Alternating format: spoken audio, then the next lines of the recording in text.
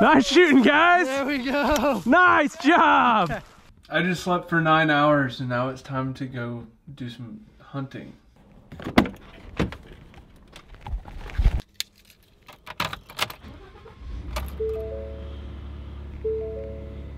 Uh, buckle up for safety. Are you buckled, Levi? All right, we're rolling out of the hotel here. Time check. Time check. Wait. Ford, Ford's working great. So yeah, no screen to be had on a 10 hour trip, no radio, rocking the Bluetooth speaker. So um, yeah, we're uh, first stop. Oh, gas is 8.29 a gallon. Let's go, Brandon. Woo! Uh, first stop. we, we thought 350 was bad. yeah, I. I filled up for 326 last night, but that's 826. Wow. Uh, first stop, we need coffee. Second stop, field. Third stop, blind. Let's get it.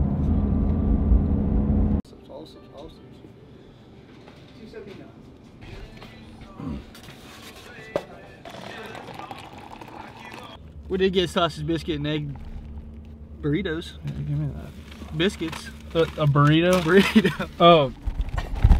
Also. Also, something I've learned about Texas, West Texas. A road in Kansas would normally be like 60 or 65 miles an hour if there's no shoulder.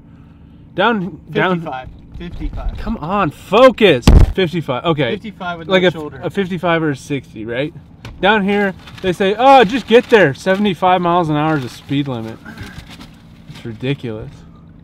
Like, it's awesome, but like, can you imagine hitting a deer on a road with no shoulder and a big ditch on the side going 75 miles an hour? Which, by the way, Oh, yeah, getting down yeah, here. we only saw like somewhere, like, in like a what, 25 mile stretch? Yeah, like, it was, speed limit was 75, but I dropped it down to like 60 because we were seeing so many deer. And uh, the thing that we came closest to hitting was actually an owl. Look at that perfection. It doesn't even look that good. It looks like they just microwaved it. Mmm. Oh my god. You don't know how good this is after being. Oh. Mmm. We didn't even eat dinner last night. We just showered and went to bed, so. This is amazing. This is like way better than QuikTrips, for sure. This video is going to take a long time to get to the hunting aspect of it.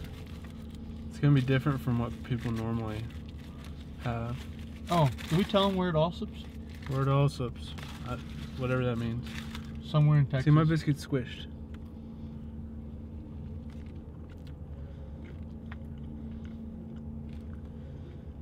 It's okay. be really good with it. Tastes like a Jimmy Dean. Well, helps if you put the key in the ignition and turn the truck on. You can actually get somewhere. How many Yuenglings did you drink last night? Two. Oh, so not that many. Dude, I was tired. I was on like hour 40 of being awake. All right, we are set up, ready to go. We got the crane decoys out. We got our blind right here, looking good. Once again, we're out here with Caprock Waterfowl and we're doing some crane hunting today. I'm excited about it. Levi's drinking his Red Bull, getting everything ready. And I uh, drink coffee and Red Bull. It's kind of cold, but hey, look at that. yeah, the sunrise looks pretty good. There you go. There's the sunrise this morning, looking good. The Yeah, loaves Levi says Levi says that the cotton bales look like gi- giant loaves of bread, but yeah, that's the set. Looks good. We're gonna get in the blind and hopefully shoot some cranes today.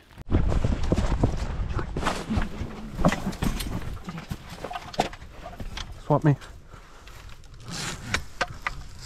close? Yeah.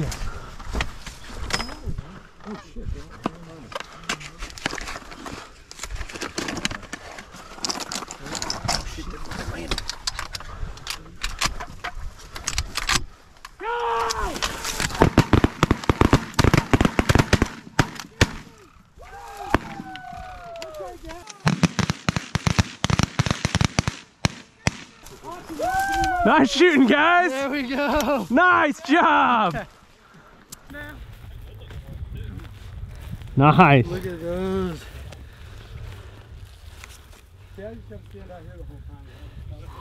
That is awesome. Man, those did it so good. So good. I didn't even see it happening. No. So we were we were just chit chatting and we turn around and look let me see that big one. and these cranes were just on the deck coming in. I didn't even have shells in my gun. So good start to the day.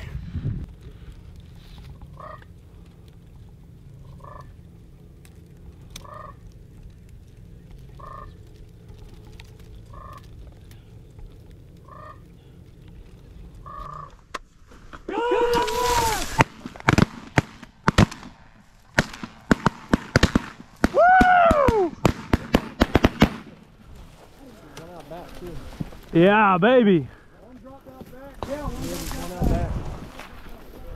You got that one? Yeah.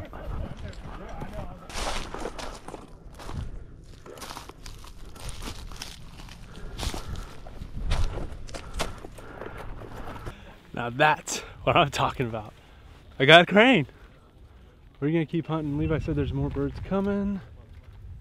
I don't even see him. No, I don't. I don't. Right there. The Oh, I see him. Yeah. So you want to slide in here and we'll get in the blind?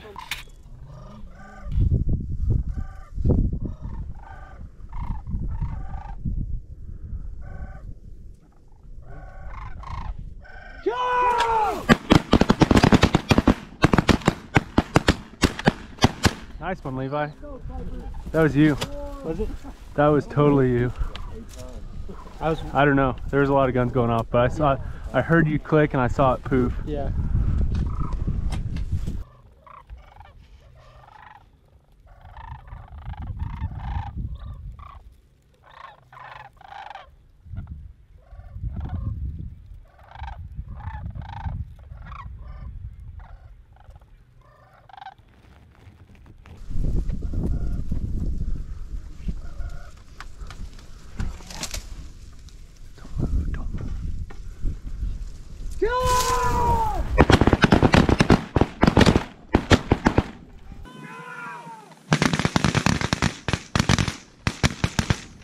There you go. Another little group came in, hovered right over the decoys. They were a little off to the right, so uh, us on the left side really didn't get a lot of good shots at them. But we got four out of that group, so we'll we'll keep plugging away. The birds are flying a lot.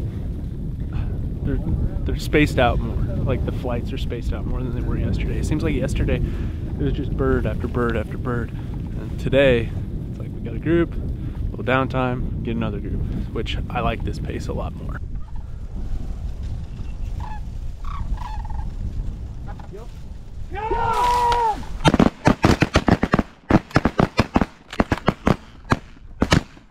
God, my gun didn't cycle. Dang it, guys. That is the first time my gun has ever done that.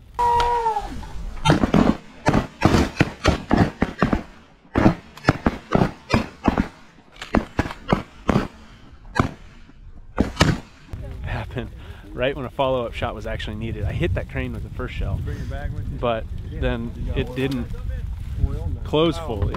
I've been having issues with uh, the breech not closing all the way, so I just dumped some water in there and cranked that that breech. So then This. it's not that. I think my gun's just really dirty because I haven't cleaned it since last season. But got a few out of that group. Could have been more if my gun didn't do what it did. Now there's a, a round Huh? floating around. Kind of a bummer, but nothing I can do about it. And I just got to find that shell that I ejected that never got shot. So we'll keep at it here.